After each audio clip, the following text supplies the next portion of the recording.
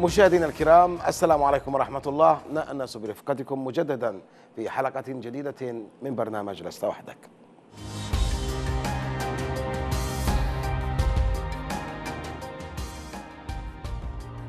مساكن المدنيين التي يهجرون منها ويحتفظون بصورتها الجميلة في أذهانهم لم تعد على حالها. الجدران ستحكي لهم حين عودتهم ذكريات ألمها وكيف صارت النوافذ التي كانت مشرعة للشمس تحتضن الأزهار؟ متارس ترسل النار ولا تستقبل غيرها. لا تترك الحرب وجه المدينة كما كان قبل دوي الرصاصة الأولى. كما أن روائح البارود ليست هي الخطر الوحيد الذي يتهدد حياة الناس. فللحروب أدخنة أخرى وحرائق. المادة التالية التي صورها في تعز أنس الحاج وأعدها للعرض وديع عطا. فيها القليل من آهات سكان حي الحصب. نبيل عبد الله غانم وجيرانه لهم من وجع الحرب غصة وقصة. نتابع ثم نعود. في تعز أتت الحرب على كل شيء. حل الدمار في كل الأنحاء. نال الخراب من وجه المدينة الحالمة. المدنيون هم أكثر الفئات دفعا لثمن الحرب. وحين تكون المدن ميدانا للقتال فهم أكثر القتلى وأسهل الأهداف. لا يفرق الرصاص والشظايا بين مسلح أو مدني صغير أو كبير ولا ذكر ولا أنثى. والله ما نسوى في بيوتنا ما أكلفنا الله ما أكلفنا الله. يرموا عشوائيين تحتفظ الذاكرة بصور أليمة لما حدث من جرائم لا تزال آثارها ماثلة ولا تزال تفاصيل الوجع سهلة الاسترجاع وما أصدقها حين ترد على لسان طفل بريء. ما عملنا بالحوثي نحن الحوثي يقتل نحن ونحن ما عملنا به. نحن أطفال وخولة كنا تتغدي نحن وهي نلعب نحن وهي ماتت ما نحصلهاش حين تحل الحرب يضطر المدنيون للنزوح قسرا. هربا من شبح الموت الذي تحمله النار. وكم من ضحايا قضوا لمجرد أنهم كانوا في مرمى نيران ميليشيا الحوثي والمخلوع.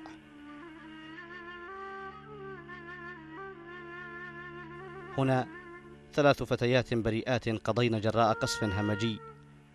لا يزال مسرح الجريمة شاهدا على حجم الكارثة التي حلت بالأسرة. يعني هم كانوا جالسين هنا ثنتين البنات الصغار وطارت رجله هنا ويدي حصلتها بالمكان هذا وراس هنا مبقطين بنت عمرها ثلاث سنين أختي اللي ثلاث سنين واحدة عمرها ثمان سنين واحدة عمرها خمس سنين. بأي ذنب قتلين هذين؟ إيش الجريمة اللي ارتكبن بحقكم؟ بيتنا أصبحت دمار دمار شامل. بعد أكثر من عشرين سنة وبيبنيها طب طب حجرة حجرة. من شان تصبر لنا إحنا بيت فضلا عن الاستهداف العشوائي ثمة جرائم مباشرة. اقترفتها الميليشيا بحق المدنيين. منها طردهم عنوة من بيوتهم للتمركز فيها واستخدامها متارس حربية. منزل أسرة المواطن نبيل عبد الله غانم كان واحدا من البيوت التي أخرجت الميليشيا منها أهلها وحولتها إلى متارس. والله انظروا إحنا ثلاث أيام لازم نخرج. نحن قلنا ما بنخرجش لكن في الأخير كانوا يضربوا على البيب الرصاص لازم تخرج. آخر مرة الساعة 2 بالليل قالوا لنا يلا انزل. ولا بنحل الحاره قالنا مع السلامة. برباشة. تولبنا أكثر من كم نفر ونزلنا برباشة. اليوم الثاني جينا نشيل الأطفال حقنا من من الحارة من وراء. عزلوا بنا بالليل.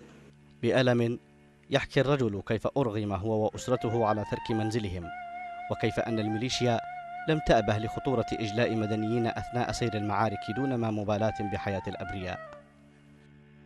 في الليل خرجنا لحالنا. كرجال قالوا لنا برا. النساء اليوم الثاني الصباح الساعة عشر كله برا على الحارة اللي بالخلف. عزلنا انتقل نبيل بأسرته إلى مكان آخر وذاق مرارة النزوح نحو سبعة أشهر إلى أن أعادت المقاومة تأمين الحي الذي يقع فيه منزله فقرر العودة لكنه فوجئ بما ضاعف معاناته. اللي خلانا نعود الدنيا صارت بأمان الآن بعد ما دخلت المقاومة هنا. رجعنا البيوت حقنا لكن رجعنا لمدينة أشباح كلها مدمرة كلها خاربة. نهبت عناصر الميليشيا التي تمركزت في البيت كل شيء ذي ثمن وعبثت بكل المحتويات ووجد نبيل نفسه مطالبا بترميم وصيانة البيت الذي أفنى عمره في بنائه لأسرته الكبيرة. هذا الوضع البيوت بالشكل هذا كيف بتعيش؟ كيف بتعيش أنا ممكن أقدر أتحمل العيش هذا كيف بيعيش هذا ابن ابني كيف بيعيش معي احفاد زي كذا أكثر من عشرة كيف بيعيشوا صح؟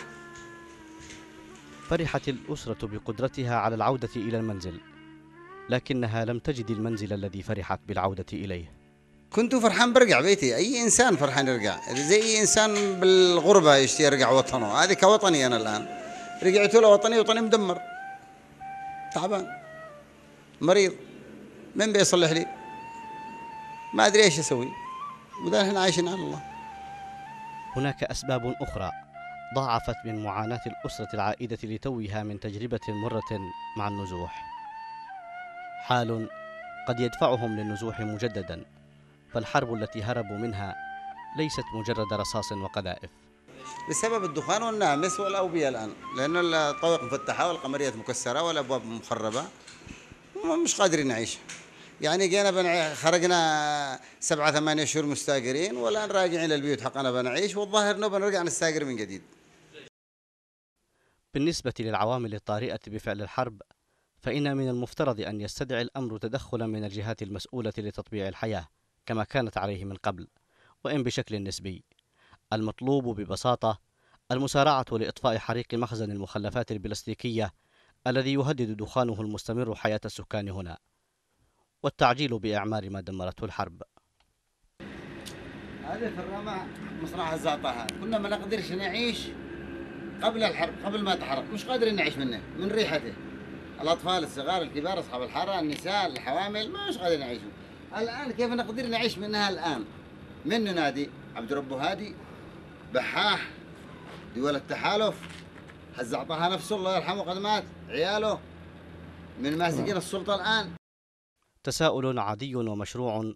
يفترض أن يجد استجابة طبيعية من قيادة محافظة تعز في إطار واجبها في معالجة آثار الحرب بحسب الإمكانات المتاحة. وحتى تتم الاستجابة سيبقى المواطن في انتظار أن تأخذ العدالة مجراها. القنديل هذا نطلب فيه بالعدالة. من بيت لا بيت الأخزاق. من بيت لا بيت. اللي كانوا هنا الحوثيين اللي خزقوا من خزقوا عاد؟ اللي كانوا داخل البيت هذه. حالة هذا المواطن تنطبق على حالات كثيرة مشابهة سواء في تعز أو في عدن وفي غيرهما من المناطق. الأمر يتطلب يقظة من أهل الاختصاص الحقوقي والإنساني لرصد الانتهاكات التي طالت وتطال المدنيين وهو ما يقوم به متطوعون تفرغوا لتتبع آثار هذه الجرائم. إعداد ملفات متكاملة وواضحة وشفافة ودقيقة ابتداء من جمع البيانات قاعدة بيانات وانتهاء بجمع الوثائق كلها بما يؤكد يعني ارتكاب هذه الميليشيات لهذه الجرائم وما يؤكد وقوع الضحايا وسقوط الضحايا. وهي ملفات تعد للمحاكمة لمحاكمة الميليشيات ومرتكبي جرائم الحرب أمام القضاء الدولي والقضاء المحلي. ما جرى في كل مكان وصلت إليه الميليشيا جدير بالرصد والتوثيق لأنه جرم لا يمكن أن يسقط بالتقادم ولا ينبغي أن يفلت فاعلوه من العقاب تحت أي غطاء أو تسوية حتى لا يجد الضحايا أنفسهم وحيدين في مواجهة كابوس الحرب وآثارها الأليمة. مشاهدينا الكرام نعود إليكم مجددا. تحرير المدينة إن حدث لا يكتمل بطرد بنادق أعدائها وإنما بإعادة رسم ابتسامة الحياة على وجوه الناس الذين حررت مدينتهم بإطفاء الحرائق وإغلاق أبواب الوجع وفتح الطريق أمام ذوي الحاجات إلى حاجاتهم. اسمحوا لنا أن نذهب إلى فاصل قصير نعود بعده للاتصال بالمحامي والناشط الحقوقي هائل الهلالي. لا تذهبوا بعيدا.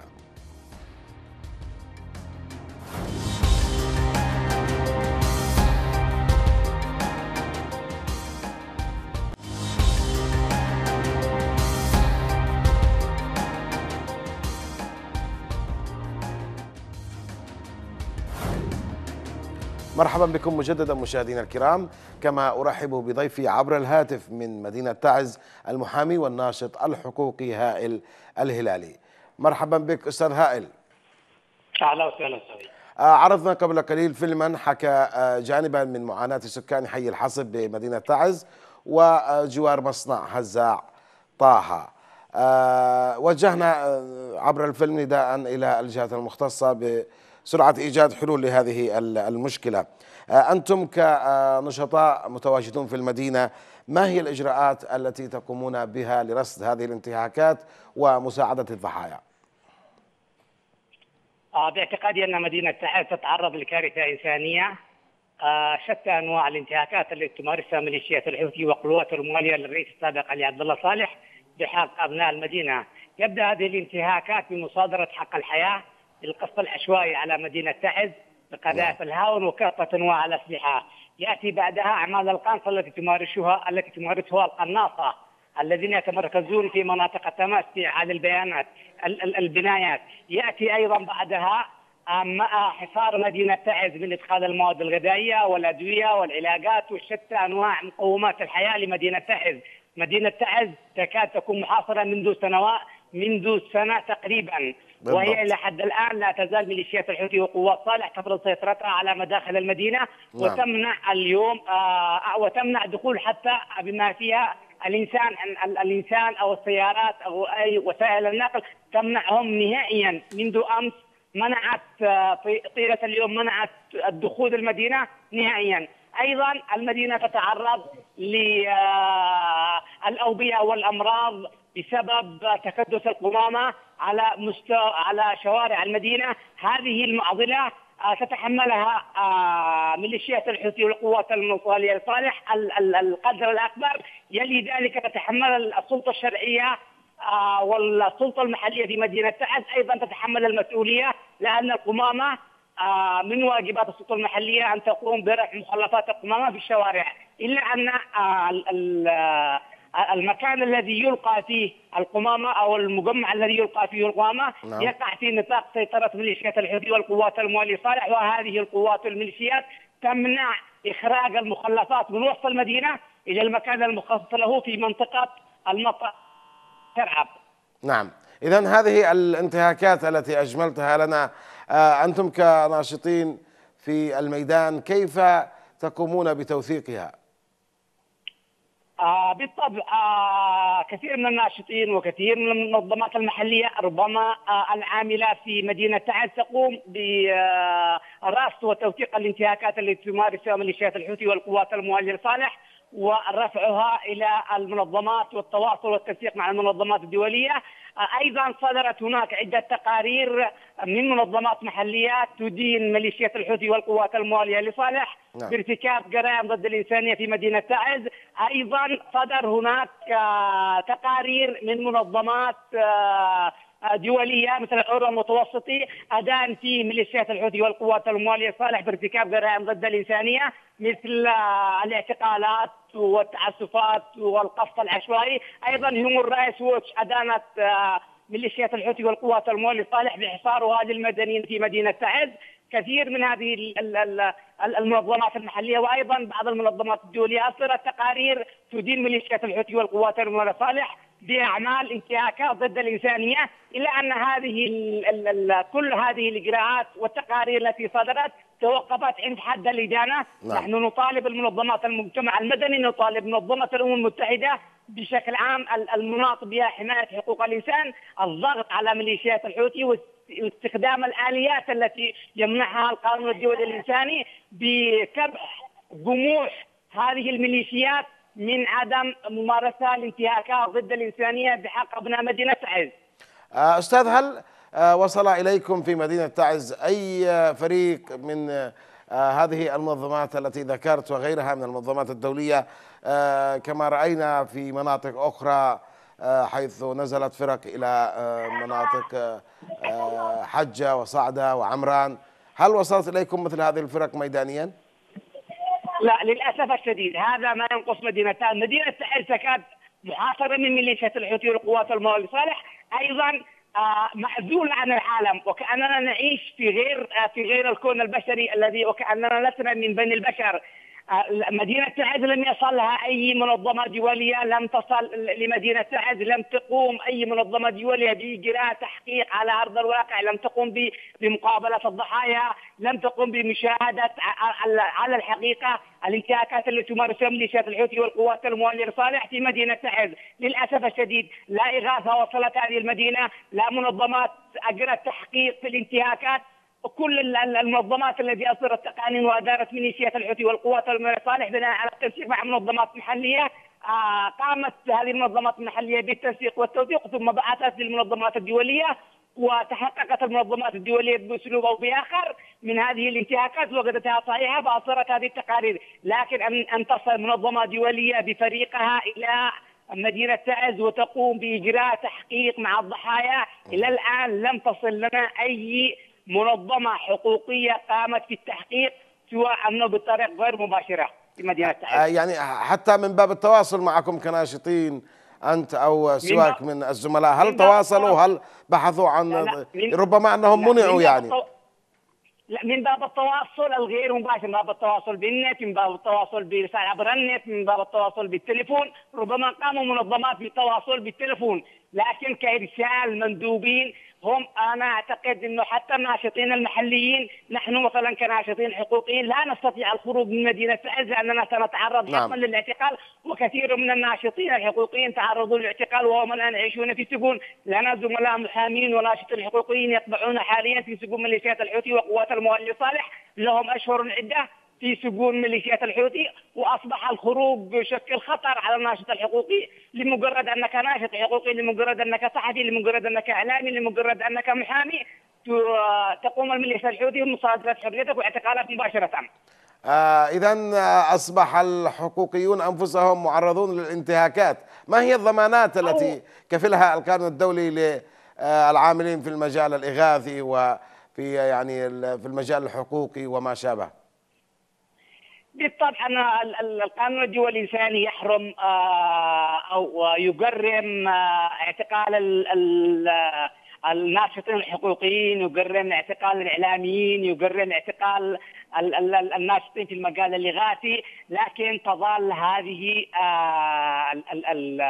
النصوص نصوص قانونية يلزم على منظمة الأمم المتحدة القيام بدورها في تطبيق هذه النصوص القانونية، القانون الدولي الإنساني نعم. كفل للناشطين الحقوقيين والإعلاميين بممارسة نشاطهم لأنهم في النهاية ليسوا طرفا في الصراع لا يحملون السلاح هم مجرد يحملون الحقيقة لكن آه، الميليشيات لا تعترف بقوانين الميليشيات لا تعترف بدولة ولا بنظام الميليشيات تمارس شتى أنواع الانتهاكات لا تعرف أحدا لا تعرف سوى القوة. التي يمكن لمنظم- لمنظمة الأمم المتحدة أن تقوم بإجبارها لاحترام حقوق الإنسان لاحترام حقوق آه، البشر وتطبيق على أرض الواقع. ميليشيات الحوثي والقوات الموالية صالح رمت بكل هذه القوانين سواء الإنسانية أو الأعراف حتى مجرد الأعراف تحاصر مدينة تعز وتقوم بانتهاكات حتى ضد النساء. ومضايقتهن في مداخل المدينة لم آه لم تعر هذه الميليشيات أي اهتمام لا بقوانين دولية ولا بقوانين محلية ولا حتى بأعراف محلية.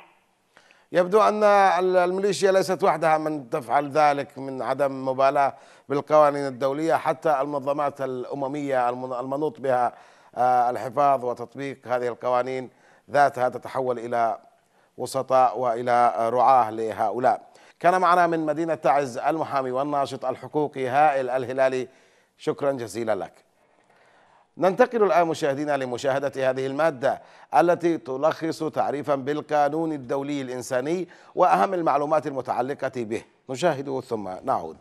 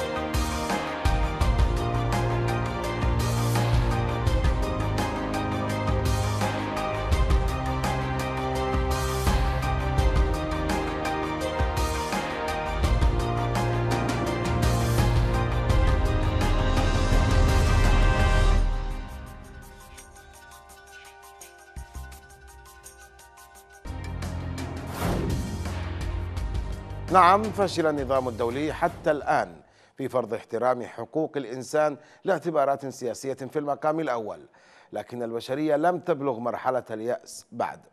من قدرة العالم على ابتكار آلية عادلة توازن بين تمسك الدول بمفهوم السيادة وبين احتياج الإنسان للعدالة.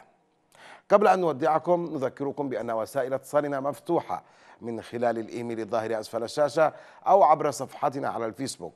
كما يمكنكم مشاهدة الحلقات السابقة من البرنامج على قناة بلقيس على اليوتيوب أو قناة البرنامج على التليجرام. نبيل عبد الله غانم تم الرصد. في أمان الله.